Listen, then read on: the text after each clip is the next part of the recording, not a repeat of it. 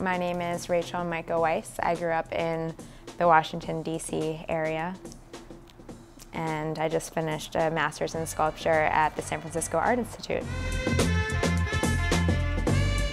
The piece that I showed at SOMArts was enterable. About two people could enter at a time and it had um, it was sort of a semicircular shape and you could you could go into it and when you were inside you couldn't see you couldn't see around you except for the space that the opening left vacant. So you were kind of contained by this wall that went above your head.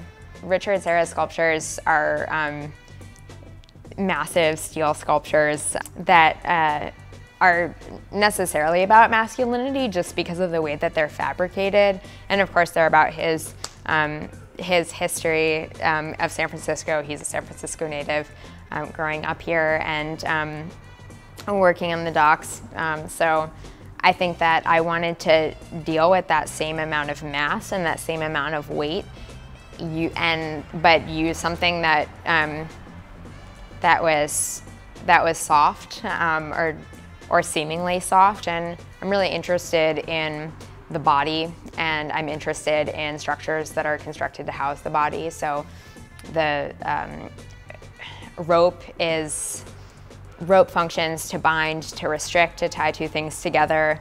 Um, and so I'm interested in the way that it can be used to talk about how the body is um, restricted or, um, or bound or just how we as humans um, impose restrictions on ourselves or create barriers where they might not exist or where they might exist.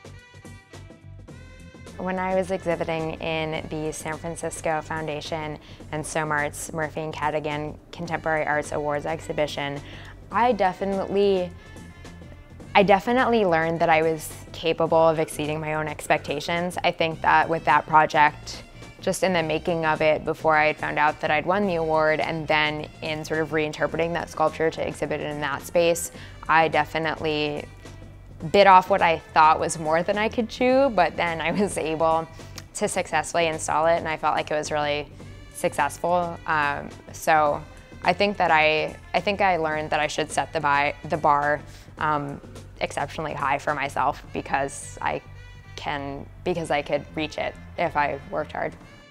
The sculpture that I showed at SOMArts was um, one of the costlier pieces that I've made, but it also um, it also facilitated other opportunities. That piece actually was shipped from San Francisco to Philadelphia for the FIBRE Philadelphia Biennial this past March. So that was that was exciting, and I was happy that it got to be that it got to be shown again on the other coast. But I think that um, I think that that piece did teach me to be more resourceful and to find cheaper ways of uh, of finding materials that would suit my needs or say what I wanted them to say.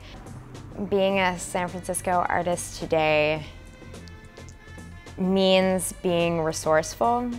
I think being an artist today means being resourceful just because of the economic situation and because people don't have a lot of disposable income to spend on art. I think that artists have to uh, think more about responding to their environment, using their environment, using um, site and duration as part of their work rather than thinking so much about materials. And I know that I feel that because uh, I think my work is very materially based, but I'm definitely moving more toward investigations of space than investigations of materials or objects.